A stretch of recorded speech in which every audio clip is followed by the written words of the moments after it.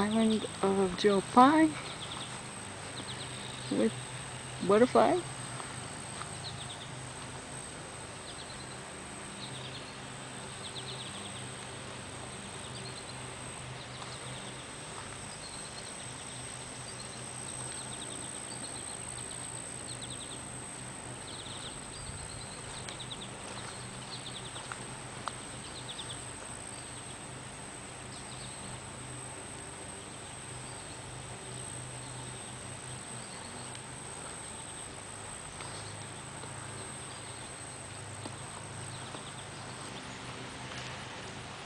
So,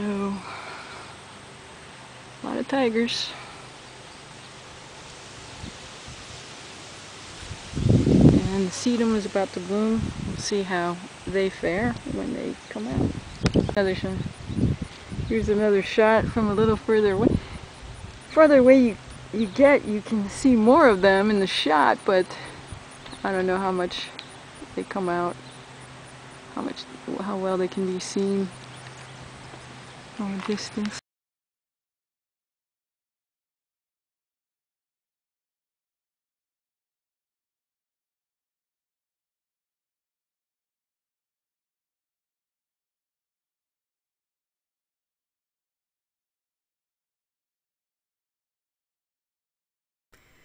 So to kill OE spores from your cages, you're going to have to use some Clorox bleach. And it's best to use the regular formula rather than the splashless because if you look closely, the concentration is different between the regular formula and the splashless is about half as much.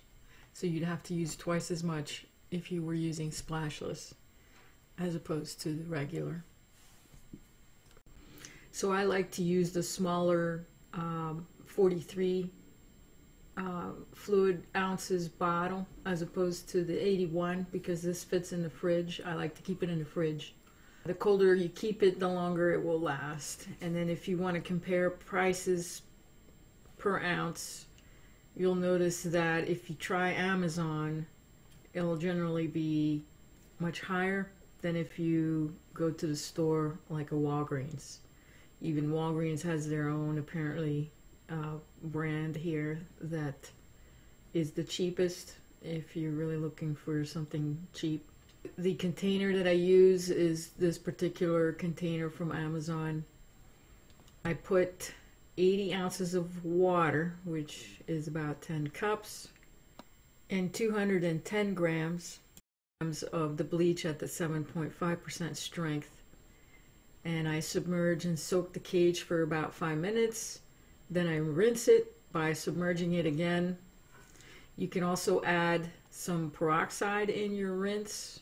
Peroxide will react with any bleach that remains on your cage just, just to make sure that you don't have any bleach staying longer than on the metal cages longer than you need it because it can start rusting it can attack the metal so it's good to maybe put some hydrogen peroxide in your rinse water. Uh, once you pull it out of the rinse water you can uh, shake that water off of it pretty dry.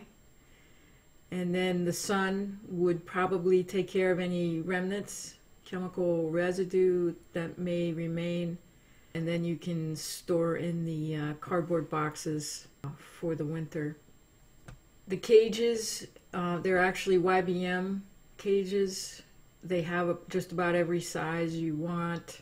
If you buy them two at a time, they can turn out to be $9 each. If you buy them by the dozen, they come down to about $5 each. Also, looking at peroxide, you know, if you go to your local CVS, it's going to be cheaper than if you try to get it from Amazon, for example. And here again, uh, Walgreens, we have about four cents per ounce on the peroxide.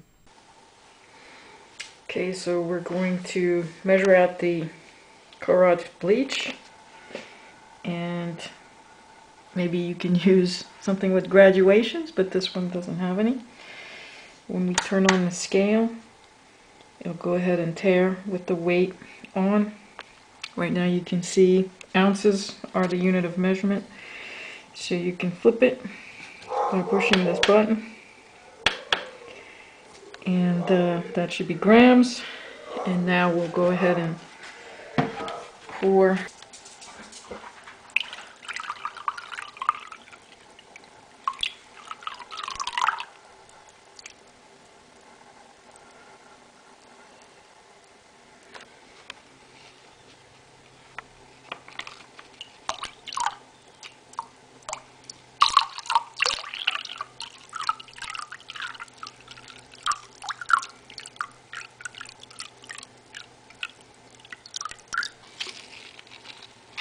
Okay, almost there. 210. So now we'll go ahead and put it in one of these. And so we have 32 ounces here of water. And we'll put another 32 ounces again. And then we'll put our bleach in.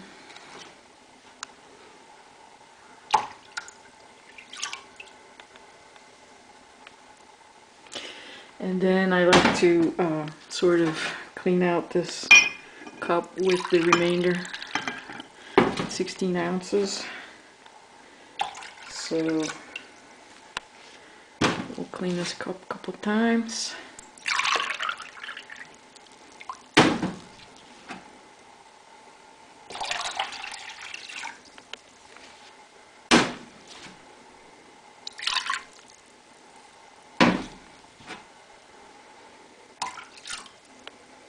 Okay, and now we have, we're ready to um, soak the cages to disinfect them. One thing to do is to check the strength of the solution and if you have a slide that you were using to test for OE, you can peel off some of the stickers and you'll have a residue that will be OE on the slide.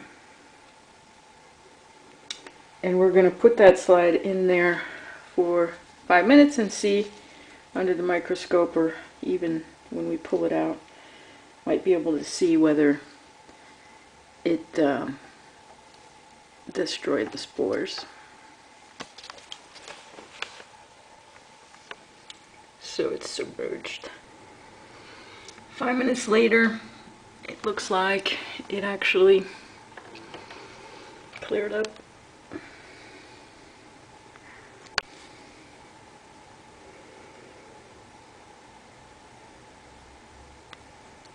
One thing you can do is also to add some uh, soapy water spray to it um, to break the surface tension of the water so it will go into the uh, little mesh screens very well. And then we'll grab one of the cages and we'll put it in. You can see it's completely submerged. And then we'll get the timer and we'll set five minutes on the timer. And then when the timer rings we can rinse the cage and then put the next cage in it. So we have a few seconds left on the timer.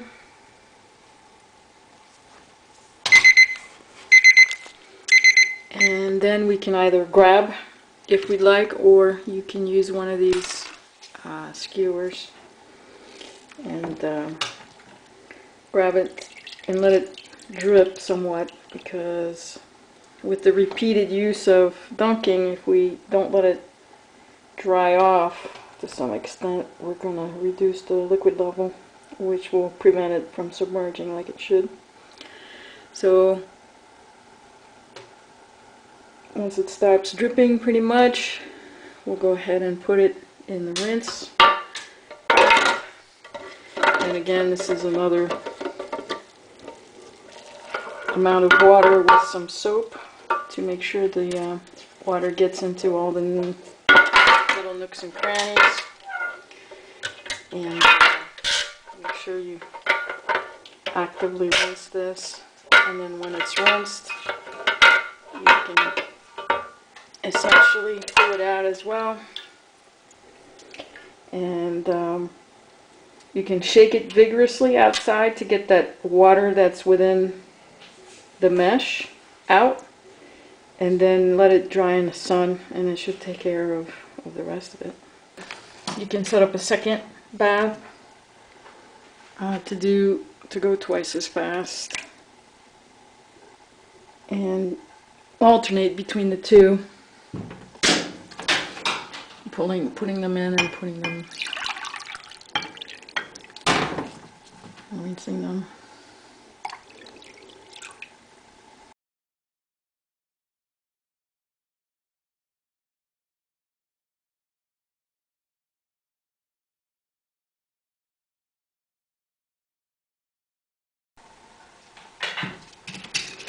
So the other part that needs to be clean are these joints that are used to double up the cages. When all the chrysalis are hanging on the top of the cage and they're about to eclose you can double up the cages so they have enough room to extend their wings as they should. So these pieces should also be disinfected um, so in the last batch, we're going to uh, put all these guys in there. So we have the last couple cages almost done near the end. And uh, we'll go ahead and uh, add these guys.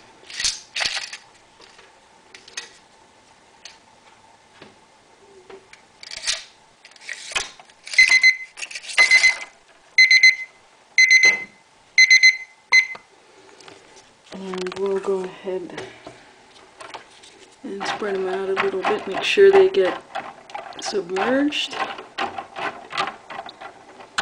And do another five minutes.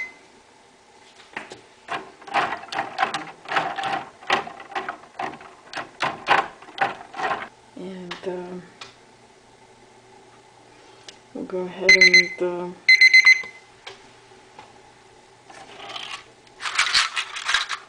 grab these, let them drain a little bit.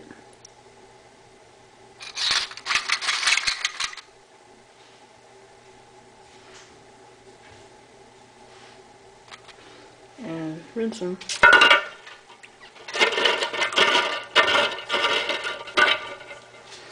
The other neat thing about these is they have lids, so if you wanted to continue tomorrow, for example, you can uh, seal them and lock them so they're really resistant to the bleach. Also, if you have some of these, you can do five minutes on one side, five minutes on the other to disinfect those. And um, if you use the magnets to uh, mark the cages, you can also dunk them for a good five minutes to uh,